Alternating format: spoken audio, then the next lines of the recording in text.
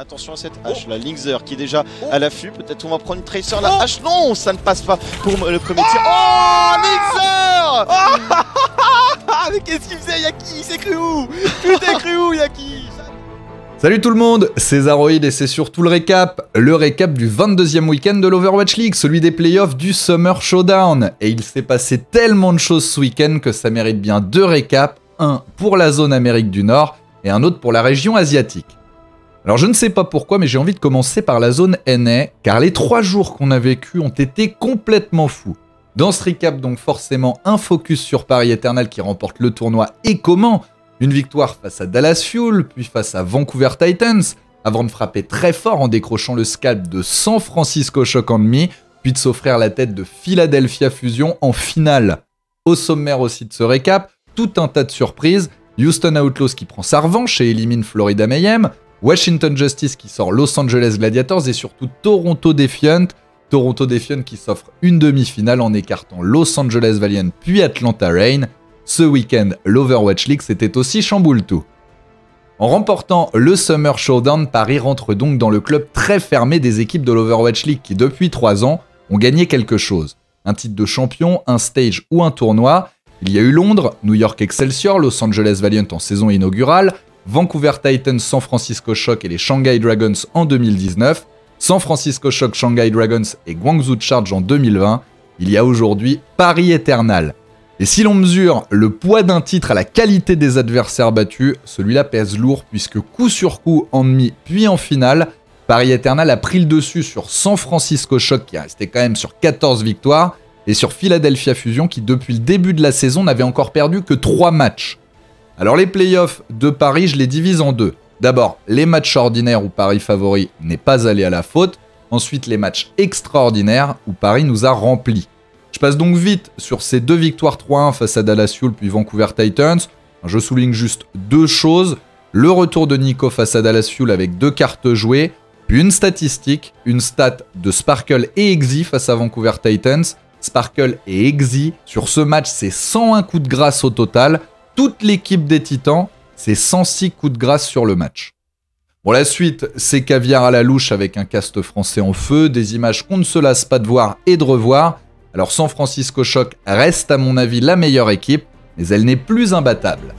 Oh là là, sans flux gravitationnel, les San Francisco Shock peuvent-ils le faire? Ils ont l'avantage du respawn et du coup Sparkle se dit que c'est son heure. Il faut y aller. Évidemment, il est bien accompagné avec la halte de Ben C'est un kill qui est pris sur du, sur du support. Violet qui tombe, il n'y a plus de heal pour les San Francisco Shock. Est-ce que ça peut aller au bout? Ce Cheubin qui est en train de revenir avec son flux évidemment. Les dégâts qui sont bons, mais Ben ne lâche rien.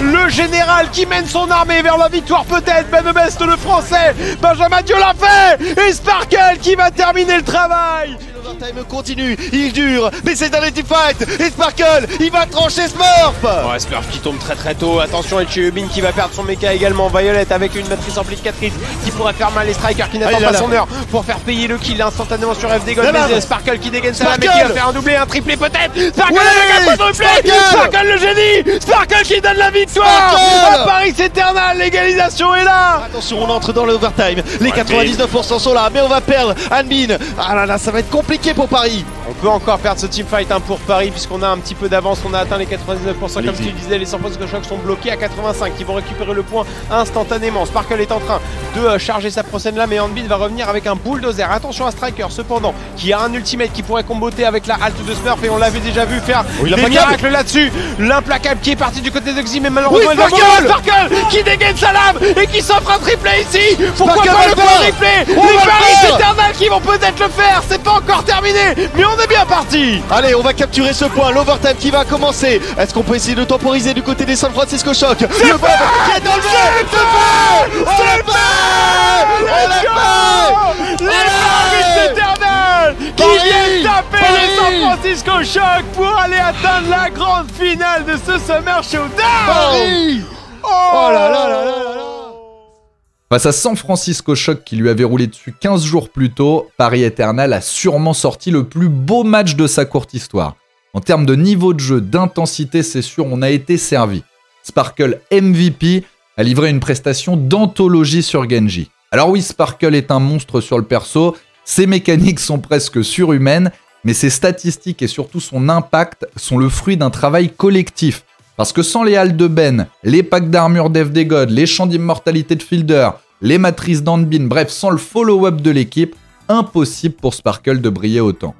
Et puis j'ai une pensée aussi pour le staff coréen de Paris, pour 9K notamment, qui est allé chercher le titre la saison dernière avec San Francisco Shock, et pour qui cette victoire est lourde de sens et forcément chargée en émotions. La victoire face à San Francisco Shock déjà c'était énorme, mais alors ensuite fallait confirmer et finir le travail pour ne pas s'entendre dire oui Paris a réussi un coup, un gros coup face à San Francisco Shock, mais ce n'est que l'histoire d'un match et à l'arrivée bah, Paris n'arrête toujours rien gagné. La victoire face à Philadelphia Fusion est donc peut-être encore plus significative. Parce que Paris n'a eu qu'une demi-heure pour souffler et se remettre la tête à l'endroit. Parce que l'attente aussi était très forte. C'était plus du 10 contre 1 comme face à San Francisco Shock, mais plutôt du 50-50. Et parce que Philly, débarrassé du grand favori, rêvait enfin de gagner quelque chose en Overwatch League. Eh bien Paris a tenu.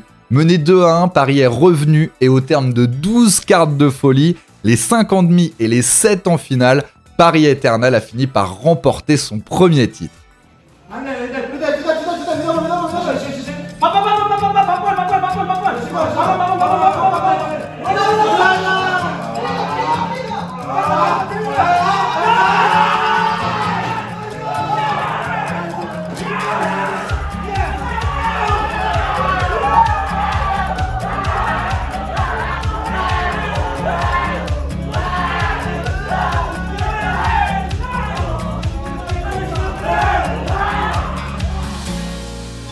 Cette victoire 4-3 face à Philadelphia Fusion, c'est la victoire de tous. Tous les joueurs ont pu jouer et on a vu une vraie équipe, une équipe épuisée mais avec du talent et du mental. Sparkle en finale a été mieux contrôlé par Philly Fusion, mais d'autres joueurs en ont profité pour prendre le relais.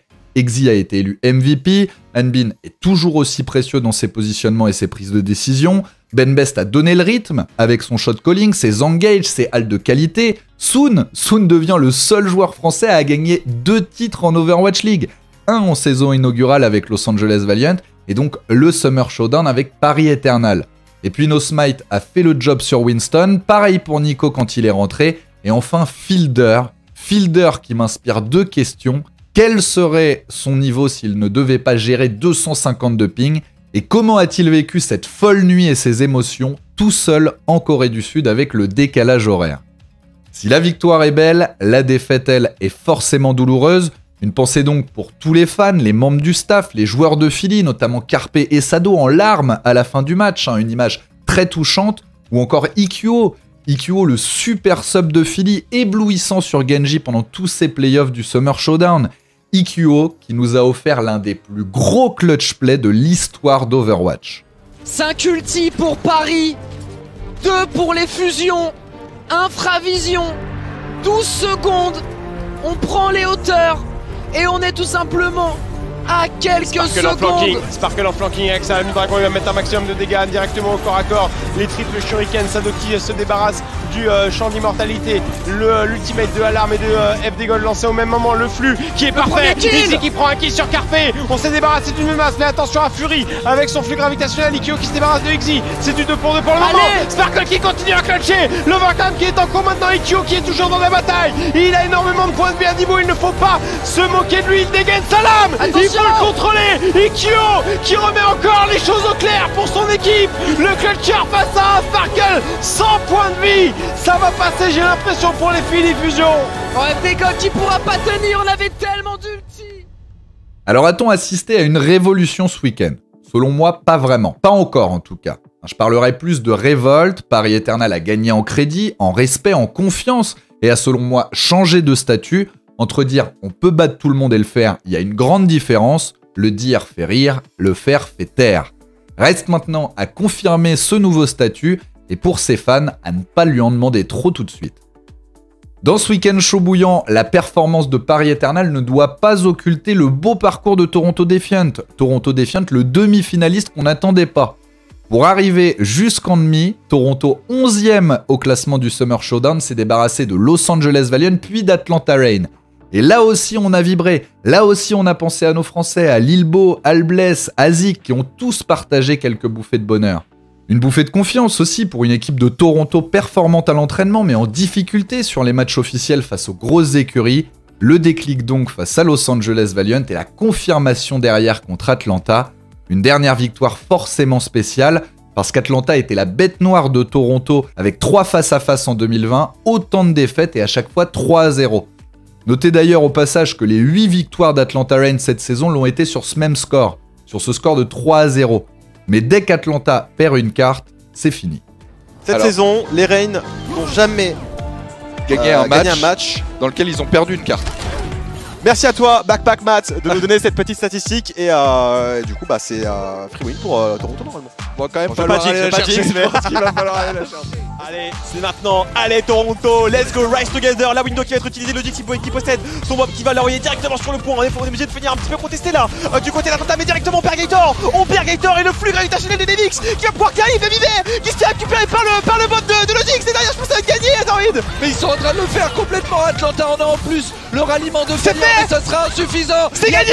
personne sur le point. Les joueurs de Toronto Defiant qui après s'être offert le scalp de Los Angeles Valiant élimine Atlanta Reigns sur le score de 3 à 2. On ira en demi. Bon, faute de temps, je fais court sur la défaite de Toronto en demi-finale face à Philadelphia Fusion. La marche est encore trop haute, mais les deux premières cartes ont été accrochées et porteuses de promesses pour la suite. Et puis un mot rapide encore sur ces playoffs du Summer Showdown avec deux autres perfs. La victoire de Houston Outlaws 3-1 face à Florida Mayhem, Florida Mayhem le finaliste du May Melee Tournament, et la victoire de Washington Justice sur le même score face à Los Angeles Gladiators. Bon, si Houston confirme ses progrès, que se passe-t-il du côté de Los Angeles Gladiators? Non mais malgré l'expérience de Bigous et Chaz, le recrutement en début de saison de star players comme OG, Birdring et Space, le renfort de Kevster aussi il y a quelques semaines, ça ne fonctionne toujours pas du côté des Gladiators. Voilà pour l'essentiel de ce qui s'est passé pendant ces playoffs du Summer Showdown en zone NA. Des playoffs qui ont marqué le retour post-confinement du cast français dans les studios de gaming. Bon, compte tenu de l'énergie envoyée, le plexiglas entre les deux casters était le minimum sanitaire, mais avec les scénarios des matchs, on n'a eu aucune peine à briser la glace. Merci en tout cas d'avoir été aussi nombreux à vibrer avec nous. N'hésitez pas maintenant à commenter ce que vous avez vu, entendu ou tout simplement ce que vous retenez de ce magnifique week-end d'Overwatch League en zone NA votre meilleur match, votre joueur coup de cœur, vos bonnes et mauvaises surprises du week-end. Sur tous ces sujets et plein d'autres, j'ai vraiment vraiment hâte de vous lire. N'hésitez pas non plus à vous abonner à la chaîne pour ne rien manquer de la suite. Ce week-end, comme on a tous besoin de souffler, pas d'Overwatch League, mais ça reprend dès le 17 juillet avec la Countdown Cup et des matchs d'Overwatch League du vendredi au dimanche soir. Je vous souhaite une très belle semaine et je vous dis à très vite pour le recap en zone Asie.